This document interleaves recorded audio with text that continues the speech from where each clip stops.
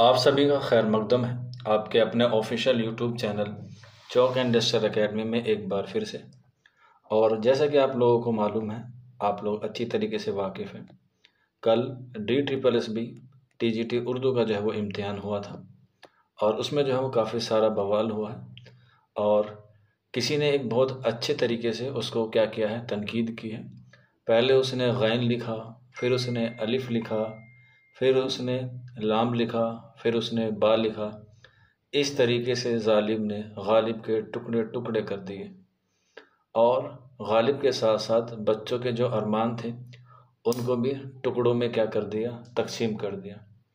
जिससे काफ़ी सारे बच्चे क्या हैं? बहुत परेशान हैं और बहुत नाउम्मीद भी हैं। क्योंकि जिस तरीके से उनकी प्रिपरेशन थी और जिस तरीके से पेपर आया था बहुत इजी पेपर था। रिव्यू के एतबार से बात की जाए, चाहे पेपर फ़र्स्ट की बात की जाए, चाहे पेपर सेकंड की बात की जाए।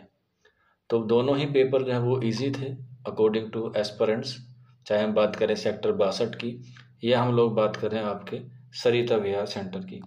हालाँकि जो सरिता विहार वाला सेंटर था, उस पर एस्परेंट्स की तादाद जो है वो ज़्यादा थी और वहाँ पर बायोमेट्रिक का भी थोड़ा सा इशू आ गया था आई डी जेड टू पे।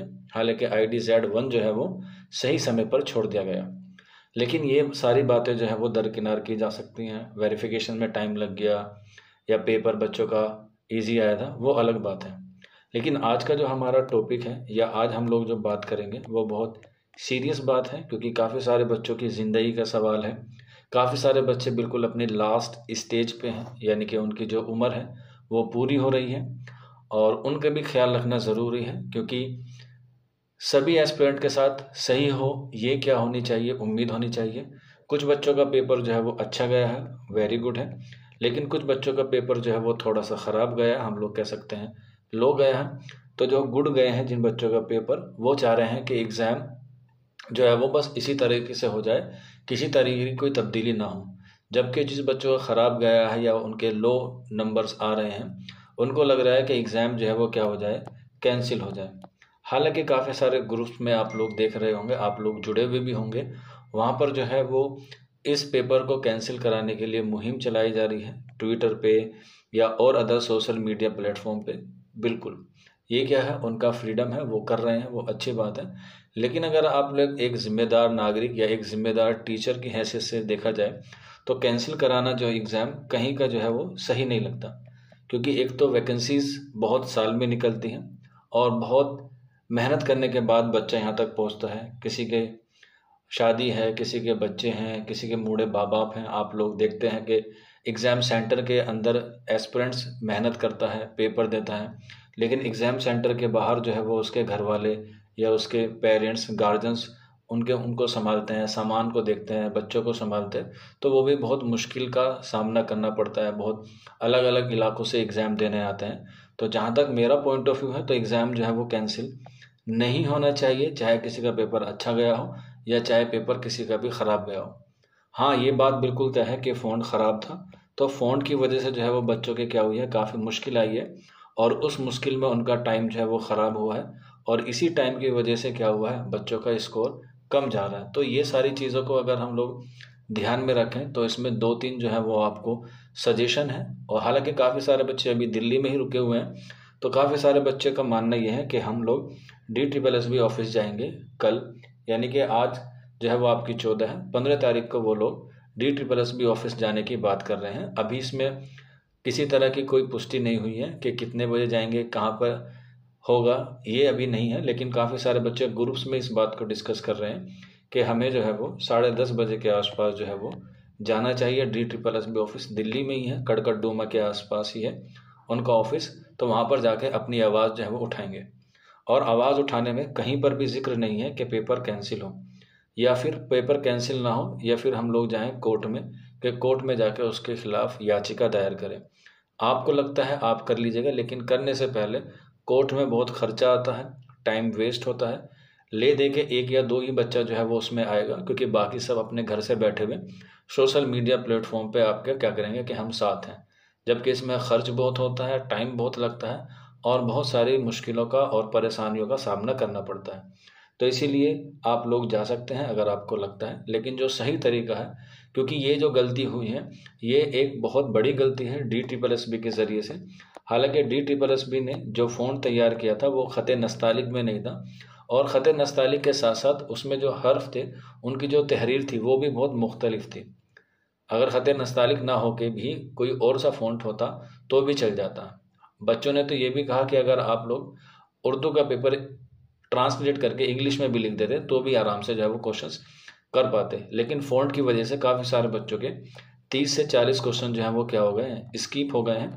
और जो टीचिंग मैथोलॉजी का पोर्शन आता था, वो वहाँ तक नहीं पहुँच पाए, क्योंकि उसमें क्या होता है सबमिट करते ही सेक्शन अगले पे जाता है। तो ये जो बच्चों का तीस से चालीस क्वेश्चन का नुकसान हुआ है, ये बहुत बड़ी बात है। हालाँकि एग्ज़ाम में अगर एक पेपर का भी जो है वो, एक सवाल का भी नुकसान हो जाए तो वो भी बहुत बड़ी बात होती है, क्योंकि मेरिट जो है वो उससे इधर से उधर हो जाती है। तो मेरी जो राय है पर्सनली मैं आपको बता दूँ, पहला तो यह है कि एग्ज़ाम कैंसिल नहीं होना चाहिए। ठीक है? पहली बात तो यही है।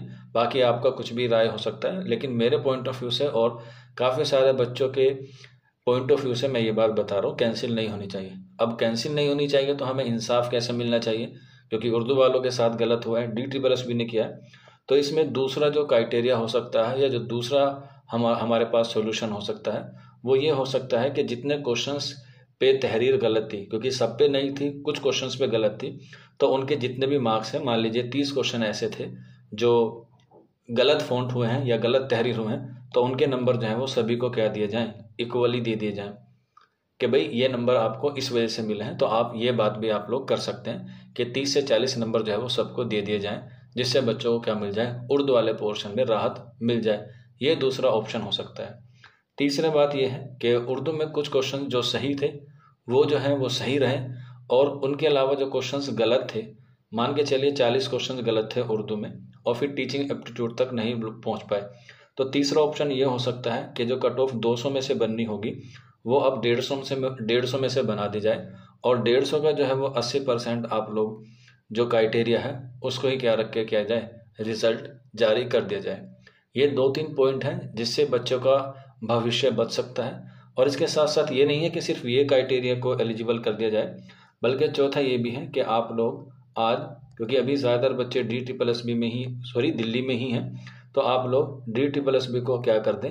मेल कर दें, ईमेल कर दें, या और अगर कोई सोशल मीडिया प्लेटफॉर्म है फेसबुक है यूट्यूब है, या फिर आप लोग कह सकते हैं ट्विटर है, उस पर भी आप अपनी राय जो है वो रख सकते हैं। लेकिन लिखना राय अच्छी बात है, लेकिन मैं आपको रिकमेंडेशन करूँगा कि आप लोग अपना एक वीडियो बनाएँ दो तीन मिनट का या एक मिनट का जो भी आप लोग कर सकते हैं, और वो उनको टैग करें, दिल्ली के एजुकेशन मिनिस्टर हुए या डी ट्रिपल एस भी हुआ, क्योंकि लिखने से ज़्यादा आप लोग जब वीडियो शेयर करेंगे तो उससे जो है वो, ज़्यादा जो है वो उससे इफ़ेक्ट पड़ता है। लिख के और जो एक इफ़ेक्ट पड़ता है, वो नहीं पड़ेगा, जो आपके वीडियो से इफ़ेक्ट पड़ेगा। तो इसीलिए अगर आप लोग चाहते हैं, आज अपना ईमेल कीजिए या फिर वीडियो कीजिए, उसके बाद 24 घंटे का आप लोग एटलीस्ट वेट कीजिए, क्योंकि अभी दशहरा और संडे की छुट्टियाँ हुई हैं तो ऑफिसर्स भी आज अपने ऑफ़िस आएँगे। तो अगर आप लोग लोग आज उनको करेंगे, शायद कल तक उनका जवाब आ जाए तो वेल गुड है। अगर नहीं आता है तो आप D triple S B office जाके अपना ज्ञापन या अपनी एप्लीकेशन दे सकते हैं। लेकिन एग्ज़ाम को कैंसिल कराना कहीं मेरी नज़रों में जो है वो सही नहीं है। तो इसीलिए ये दो तीन जो बातें मैंने आपको बताई हैं, वो आप लोग इस पर क्या कर सकते हैं? काम कर सकते हैं। बाकी जो बच्चे जुड़ना चाहते हैं, या जो बच्चे अपनी राय पेश करना चाहते हैं तो इस नंबर पर जो है वो जुड़ सकते हैं। अपना नाम, अपने स्टेट का नाम, और डी टी बरस बी टी जी टी लिख के जो है वो हमें मैसेज कर दीजिएगा। इससे आगे ही क्या कार्रवाई होगी, या इससे आगे हम लोग क्या कर सकते हैं, वो सारी चीज़ें हम लोग डिस्कस करेंगे। इन उम्मीद यही है कि किसी के साथ भी इनजस्टिस ना हो, चाहे पेपर अच्छा गया हो, चाहे पेपर ख़राब गया हो, बस दुआ यही है कि पेपर कैंसिल नहीं होना चाहिए, क्योंकि वैकेंसीज कम हैं और एग्ज़ाम आगे होने के चांसेस भी कम है, क्योंकि दिल्ली में इलेक्शन आ रहे हैं तो फिर ये बहुत लंबा चला जाएगा। और उर्दू की वैकेंसीज जो है वो वैसे ही कम होती जा रही हैं दिन ब दिन तो जो मिल रही है छः सौ छब्बीस, आप इसी में से अपनी एक सीट बुक कर लीजिएगा। और इसके साथ साथ जो है वो आप अपने हक की आवाज़ उड़ाइए उठाइएगा क्योंकि इससे क्या होगा आ, आगे जो है वो गलती नहीं होगी। इससे डी टी प्लस बी को जो है वो थोड़ा सा अवेयरनेस ज़रूर होगी या उनको थोड़ा सा सबक मिलेगा। तो ये दो तीन बातें थी उम्मीद है आपको समझ में आ गई होगी।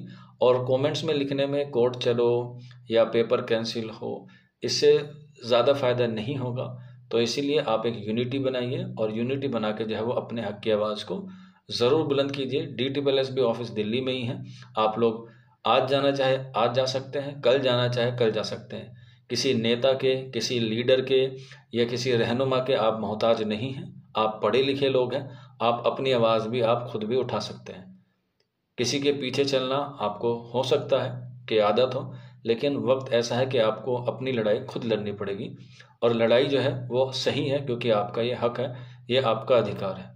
आपके साथ गलत हुआ है तो you can raise your voice लेकिन उसकी भी एक लिमिट होती है, उसके भी एक कायदे कानून होते हैं। तो इसीलिए I humble request all of you कि जो भी करें, सोच समझ के करें, जो भी करना हो, अच्छे से करें और नियम, कायदे, कानून की जेर असर जो है वो अपने काम को अंजाम दें। शुक्रिया।